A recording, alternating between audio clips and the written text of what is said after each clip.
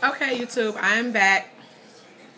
I'm sorry, girls. I had uh, my my my my little information just my little video recording stopped like.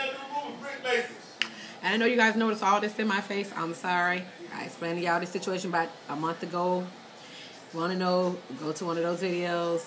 Don't care to talk about it. But it got cut off in the middle of me showing you guys all the goodies. So I was like, what? On a Sunday? Stop playing, stop playing, stop playing. Crack, crack. Just kidding. Okay, so on to the next. Um, I don't even know what I was showing you guys when it cut off, but I did know I, I think I showed you guys this wonderful gold mesh and mirrored bracelet. It was a dollar. So, you know, I thought that was really, really, really cute. And then this is what it looks like in the back. Then I also picked up a pink one. Ooh, ooh, ooh, ooh.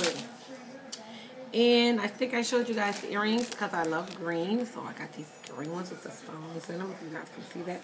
And they're different. Um, and I think I showed you guys the pink ones. But if I didn't, here they go again. Did they fall apart? What the hell? Oh. Here's the pink ones. Like, yeah, I'm. They're going to be cute for the summer. And the icing on the cake was the Rebecca Minkoff purse. And it's all leather. It's 165 um, All the green is leather. And then it's a nylon bag. Um, and it has the studs on the front and it has handles. And I like it because you can take it and you can literally fasten it down, which I'm going to show you guys in one second.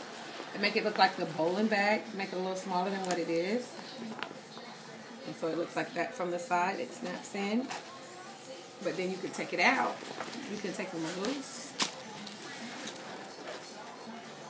And make it a full bag. Like that. Which I love.